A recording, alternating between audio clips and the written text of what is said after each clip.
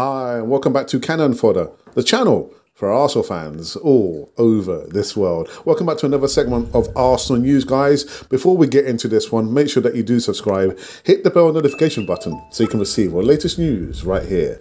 It's unhelpful and unfair, says Simon Jordan, tells Arsenal fans Bukayo Saka isn't world class. What is he talking about? Yeah, well, Simon Jordan believes that Bukayo Saka is uh, still yet to prove him he is world class and to bill him as much as unhelpful and unfair. Arsenal star continues to go from strength to strength and is a leading contender to be crowned PFA Footballer of the Year on the back of a series of outstanding displays for club and country. Already enjoying the most productive campaign of his fledgling career to date, Bukayo could yet end the season with a Premier League winners medal as that could go a long way to enhance his burgeoning reputation. Now, Saka is on the verge of signing a new long term contract that would end speculation surrounding his future and uh, render him Arsenal's highest paid player on a deal reported to be worth £300,000 a week.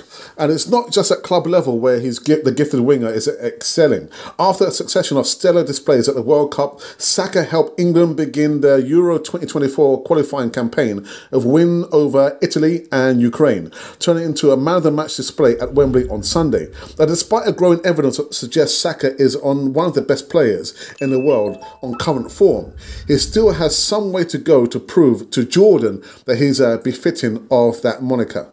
The former Crystal Palace chairman turned pundit told Talk Sport this idea that we need to tell every English player that once they hit a vein of form that they are world class is a false equivalency for me.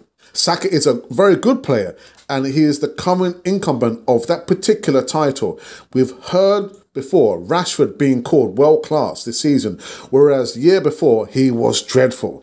Saka is building and building and building and getting better and better and better. But when we talk about world class, we talk about geniuses like Mbappe, the young kid at Real Madrid, Vinicius Jr. coming through, and who I believe are geniuses. Then we talk about Bukayo Saka, that's a very, very good uh, English player who is building up and may yet become a potential world class player.